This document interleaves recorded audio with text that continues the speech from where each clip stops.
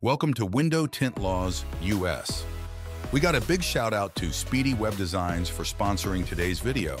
They specialize in creating SEO optimized websites and innovative automated chatbots that sync with your calendar to keep you on track. Elevate your online game with Speedy Web Designs. Let's get into the video.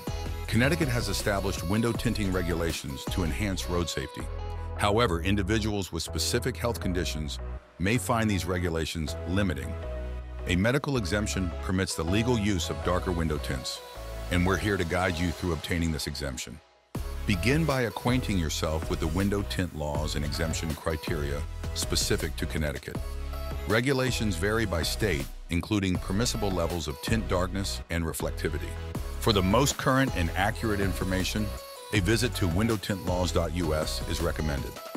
To streamline the exemption process and avoid the complexities of navigating medical and government paperwork, consider utilizing MyEyeRx. Their service simplifies the process, offering assistance in obtaining a medical exemption through a straightforward Zoom call.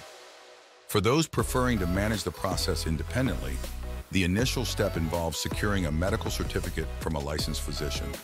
This certificate should detail your medical condition and explain the necessity for darker window tints. Ensure it contains the physician's contact details, license number, and includes a signature with the date.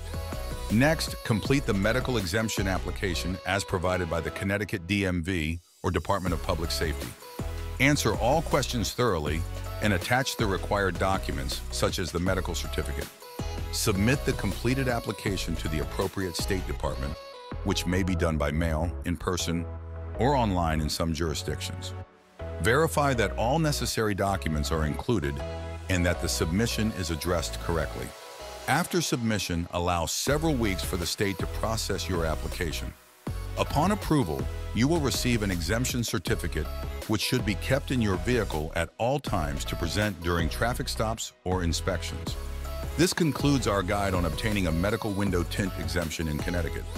This exemption plays a crucial role in maintaining your comfort and health while adhering to state regulations.